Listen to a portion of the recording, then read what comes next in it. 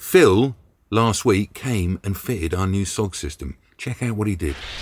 One of the few jobs that we didn't do before we went away on our summer trip was to fit the SOG system. So today we're going to fit that. Now the SOG system is um, it's basically to take all the odours out of the toilet. And Phil's here. Hello. Hey. So do you want me to quickly run through what we're doing? Run through, Phil. Go. Okay then.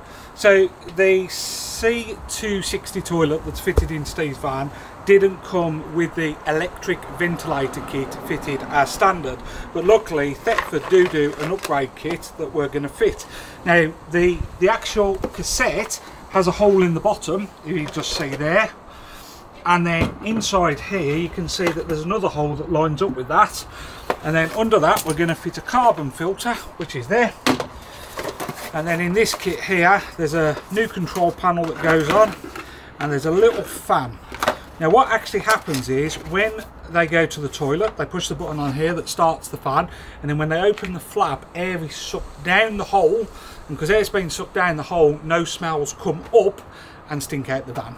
So it's just a nice way of being able to control the smells in the van. It does go through a carbon filter, so as it comes out of the van, it doesn't smell out the campsite.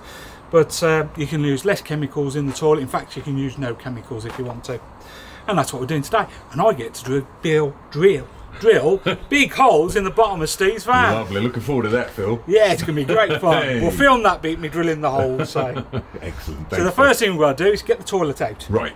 So this is what it looks like without a toilet in a Swift Kon-tiki. Just a hole in the wall. Okay, so now we've got the toilet out of the van. I've got it tipped upside down here. It's easier to work on it outside the van. And what we're going to do now is we've got to cut out the part out of the bottom. It's already sort of um, sort of beveled in and then just use a Stanley knife to cut the circle out and cut out this little square and that's where the fan's going to go. Perfect. But it does come out nice and easy just with the Stanley blade and that's out and then the other piece we need to cut out is this one here. This one's easier because we can just slide the blade into that one. And that's it.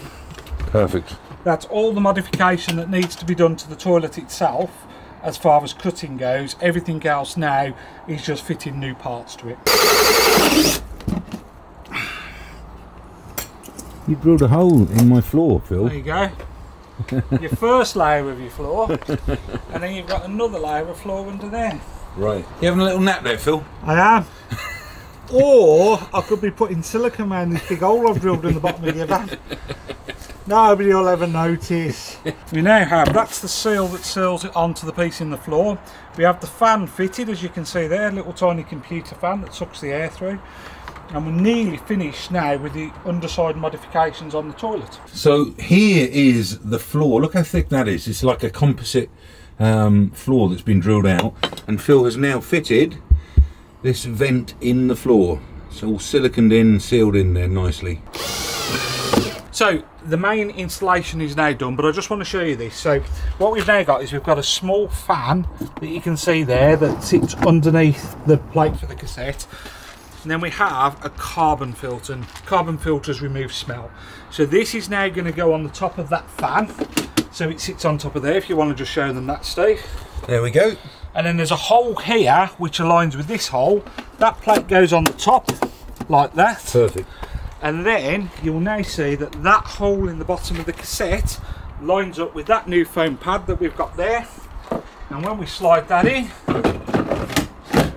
the job's done and now Steve can show you how it works inside And it's fair to say that all toilets that are fitted to motorhomes have this, uh, the ability to upgrade to this. C260s C260s. C260s so if you bought a Hymer or you bought a Bursner or a German motorhome it's probably already got that fitted but unfortunately it's not common in Britain for us to have these toilet ventilator systems fitted as standard so but that kit it took probably about two hours to do the installation on that with chatting and a cup of coffee hasn't it really Absolutely. And here we have a new panel with new light and a button so we can turn the fan on and turn the fan off. Um, and when we turn it on and flush it there, it does it automatically anyway. And I think it stays on for five, ten minutes afterwards. So perfect. That should get rid of the smells from the toilet. And there you go. We have our new SOG system fitted. So we should now have less smells coming from the toilet.